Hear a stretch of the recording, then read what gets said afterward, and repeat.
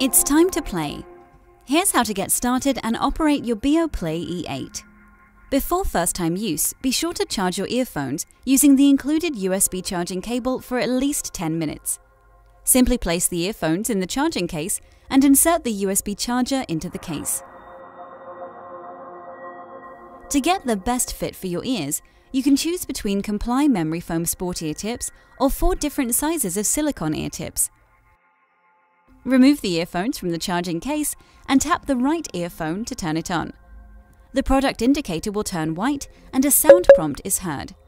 The product is ready for use. To start Bluetooth pairing, follow the steps in the Beoplay app. You can also pair manually. Just keep a distance of less than 20 centimeters between the earphones. Then press and hold both of them for 5 seconds until the indicator light starts flashing blue and a sound prompt is heard.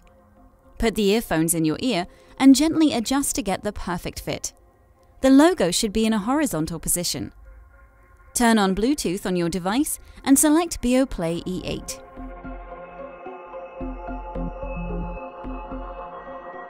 Use your USB cable to charge the case and the earphones. It takes approximately two and a half hours to fully charge. When the case and earphones are fully charged, you have up to 12 hours of playtime.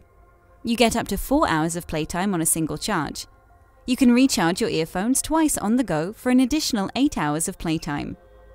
When you insert your earphones in the case, the indicator lights will show you how many charges you have left.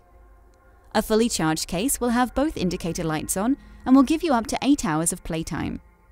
Once you have used the first charge, only one indicator light will remain on, so you now have 4 hours of playtime left. Once you have used the second charge, the indicator lights will be off and you will need to use the USB cable to charge the case and the earphones. If the earphones are low on battery, 20 minutes in the charging case gives you up to 1 hours of playtime. E8 features a touch-sensitive surface on both left and right earpieces. Tap once on the right earphone to play or pause the music. Tap once on the left earphone to turn on transparency mode. Double tap the right earphone to play the next track. Double tap the left earphone to play previous track. Touch and hold the right earphone to turn up the volume. Touch and hold the left earphone to turn down the volume. Tap the right earphone three times to activate Siri or Google Now. Tap either the right or the left earphone to answer a call. Double tap the right or the left earphone to end a call. Hold either the right or the left earphone for 5 seconds to reject a call. If you only want to use just one earphone, the right earphone can be used as a standalone device.